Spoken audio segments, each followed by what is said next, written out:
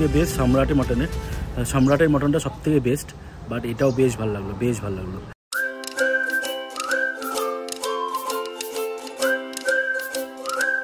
Good morning সবাইকে। ঝাড়খণ্ড সিরিজের last এপিসোডে সবাইকে ওয়েলকাম আমরা এখন দাঁড়িয়ে আছি ডালমা পাহাড়ের মধ্যেই। ডালমা পাহাড়ে আমরা বুকিং করেছিলাম মাকুলা কোচা বলে একটা প্রপার্টি গেস্ট হাউস ফরেস্ট ডিপার্টমেন্টের আন্ডারেই ওদের ওয়েবসাইট থেকেই বুক করেছিলাম। আমরা এসি রুম পাইনি। এসি রুম মোটামুটি দুটো না একটা আছে এখানে। সেটা অ্যাভেলেবেল ছিল না। আমরা নন এসি রুম নিয়েছিলাম পার ডে ছিল হাজার টাকা করে। এখান থেকে ব্রেকফাস্ট করে আমরা যাব ডিমা লেক। সেখান থেকে জামশেদপুর সিটিতে ঢুকবো। ইচ্ছে আছে রমেশ কুলফি থেকে লাঞ্চ করার মাটন ভাত, যেটা ওখানকার খুব ফেমাস তো তারপর টুকটাক কটা সাইট সিন করে বেরিয়ে যাব কলকাতার জন্য। তো দেখতে থাকো ব্লগটা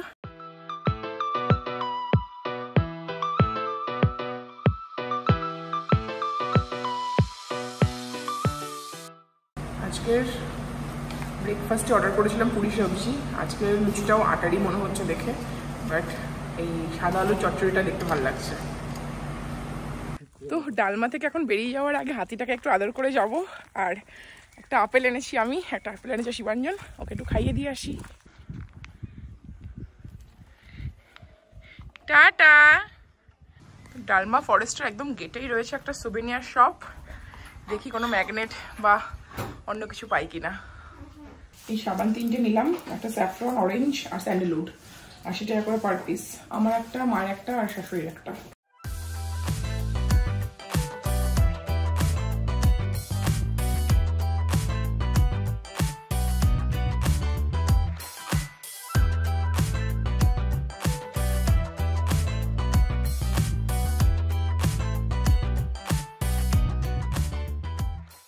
তো নেমে পড়লাম আমরা ডিমনা লেকের সামনে।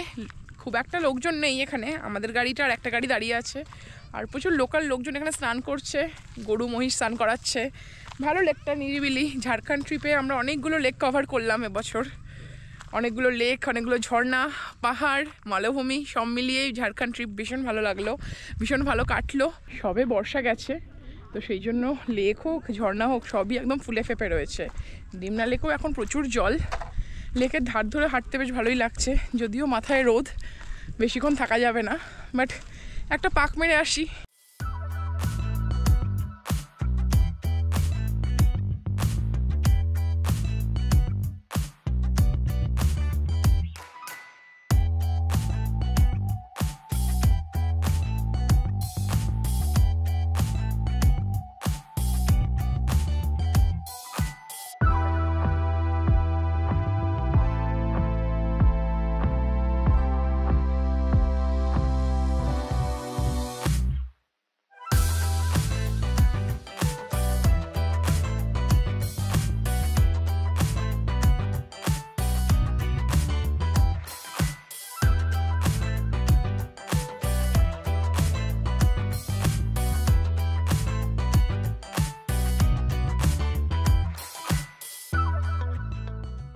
এই ঝাড়খণ্ড ট্রিপে এত লেক এত সরোবর দেখলাম, এত ঝিল দেখলাম, ক্লান্ত হয়ে গেছি।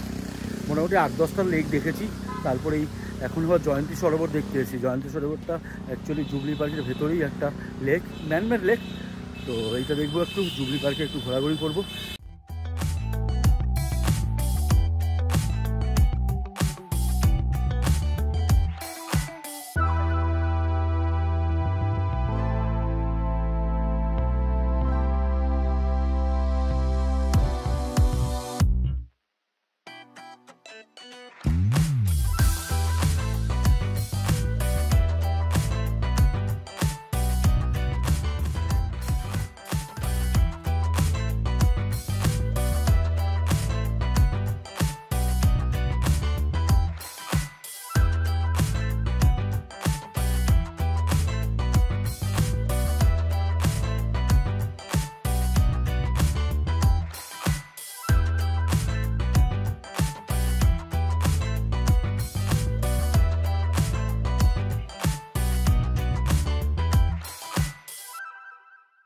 পৌঁছলাম এসে রমেশ কুলফির সামনে, এটা ওদের যে মার্কেটে ফেরত দোকান যেটা আছে সেটা নয়, এটা হাইওয়ের ওপরে ওদের একটা শপ রয়েছে, সেটা দিয়ে এসছি। ফাঁকাই আছে এখন বারোটা, ওদের বোধহয় এগারোটা পঞ্চান্ন, ওদের বোধহয় বারোটা থেকেই ওপেন হয়। চলো ভেতরে গিয়ে দেখি কী কী পাওয়া যায়।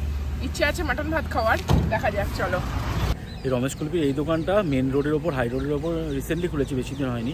আর এদের মেন যেই দোকানটা আছে নাইনটিন সেভেন্টি টু থেকে চলছে, সেটা হলো জামশেদপুর সিটির ভেতরে। এদের এখানকার মাটন আটঘেটা নাকি খুব ফেমাস আমরা মাটন খেতে একবার রাঁচিও গেছিলাম। এবার তো রাঁচিতে মাটন খাওয়া হলো না তো এইটা ডিসাইড করেছিলাম যে জামশেদপুরের রমেশ কুলপি থেকেই মাটনটা খাব। খেয়ে লাঞ্চ করে এখন বেরিয়ে যাব কলকাতার দিকে। দেখি খেয়ে কেমন লাগে। তুমি শুধু ডাল ভাত খাবে?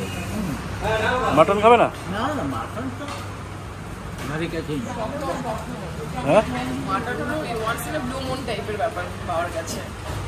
শুধু ডাল ভাত?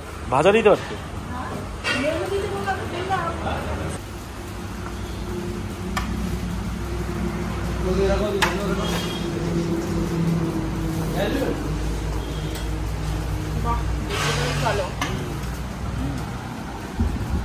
দু প্লেট নিয়েছি না চাটনি টাইপের কিছু নেই না চাটনি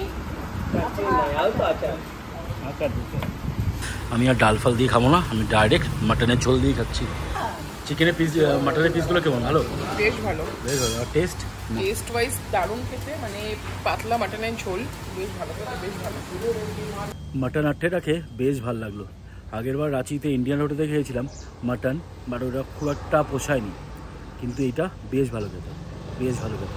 আমি সবসময় বলি মাটন সব থেকে বেস্ট সম্রাটে মাটনের সম্রাটের মাটনটা সব থেকে বেস্ট বাট এটাও বেশ ভালো লাগল বেশ ভালো লাগল। মাটনের পিসগুলো বেশ বড় বড় নরম ওয়েল কুকড এই না দোকানের নাম রামেশ কুলফি। হ্যাঁ। রামেশ কুলফি কেন নাম? মানে কিউ কুলফি এখানে পাওয়া যায় না? কুলফি জন্য ফেমাস আছে। কুলফি ফেমাস আছে? হ্যাঁ। এখানে পাওয়া যায় না? এখানে পাওয়া যায়। পাওয়া যায়? হ্যাঁ।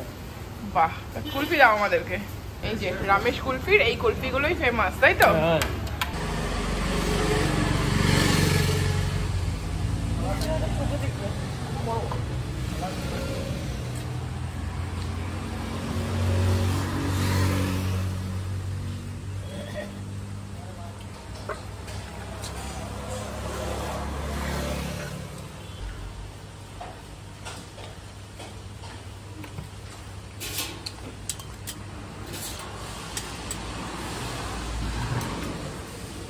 রমেশ কুলফিতে দাঁড়িয়ে কুলফি খেতে খেতে আমাদের ঝাড়খণ্ড সিরিজ শেষ করছি। ভালো লাগল কিনা জানিও। যদি ভালো লেগে থাকে তাহলে লাইক করো কমেন্ট করে জানিও কীরকম কী লাগল। কোনো রকম কোনো ইনফরমেশন চাইলেও কমেন্ট করো। আর যদি ভিডিও ভালো লেগে থাকে সবার সাথে শেয়ার করো। যারা নতুন দেখছ সাবস্ক্রাইব করো। সাবস্ক্রিপশনটা খুব দরকার। দেখা হবে আবার কোনো নতুন ব্লগে কোনো নতুন সিরিজ নিয়ে। ততদিন ভালো থেকো।